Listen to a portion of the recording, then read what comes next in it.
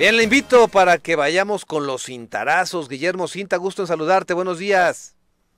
Muy buenos días, estimado Teodoro Rentería. Buenos días, amigos de Entérese uh, y de Irradia Noticias. José Luis Uriostegui y la estricta aplicación del catastro en Cuernavaca. A inicios del año 2011, el Ayuntamiento de Cuernavaca, entonces presidido por Manuel Martínez Garrigós, enfrentó un delicado conflicto político y social, esto dentro de una campaña de ataques auspiciada por el Partido Acción Nacional en contra del entonces alcalde, debido a la implantación de nuevas tasas en el impuesto predial,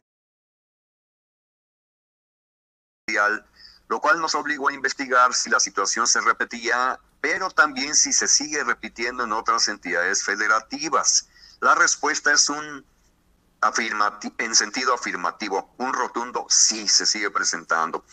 Este día quiero referirme al mismo tema frente al anuncio hecho ayer, eh, este martes, por el presidente municipal electo de Cuernavaca, José Luis Uriostegui Salgado, quien al percibir la grave problemática financiera de la actual administración, la cual le será heredada a partir de enero de 2022, está cifrando expectativas en los ingresos propios y en ciertas participaciones federales.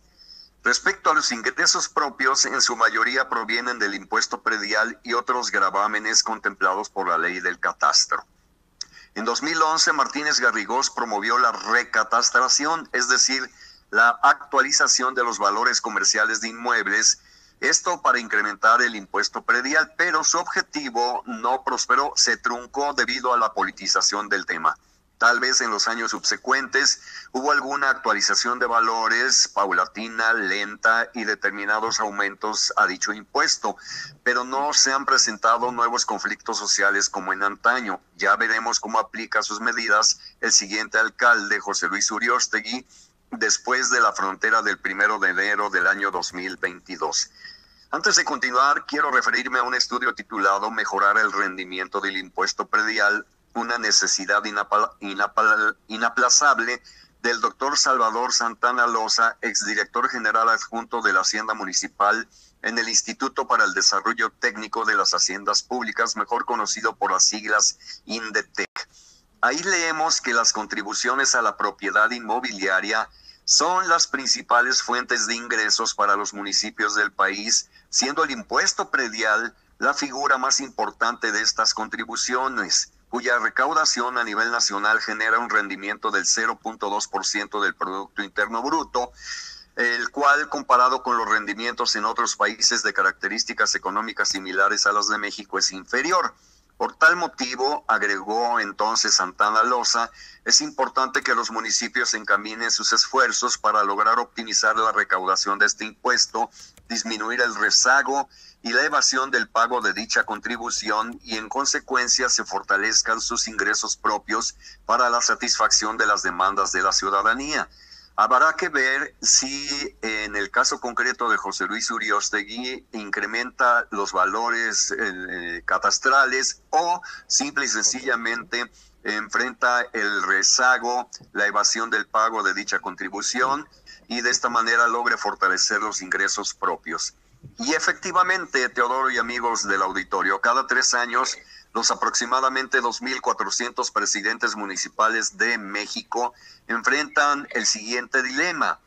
O emprenden una revaluación catastral acorde a los valores comerciales de predios y construcciones a fin de ubicar en forma realista las tasas del impuesto predial dentro del anárquico mercado inmobiliario y con ello generar mayores ingresos a las arcas locales, o no hacen nada lo cual repercute siempre en la falta de recursos para construir nueva infraestructura.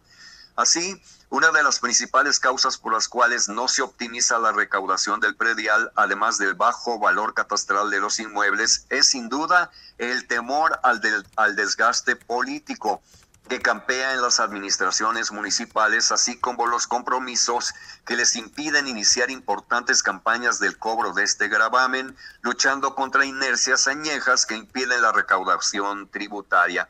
Esto fue precisamente lo que ocurrió y ha ocurrido con el ayuntamiento de Cuernavaca. Además del activismo de determinados actores dentro y fuera de Morelos que buscan sacar raja electoral en cualquier coyuntura, es menester citar como parte de la misma problemática la escasa conciencia tributaria de la ciudadanía en el ámbito municipal, ya que tratándose de contribuciones federales y aún las locales, la resistencia de pago por parte de la ciudadanía es menor, mientras que tratándose de, eh, de contribuciones municipales, esta se presenta en mayor medida.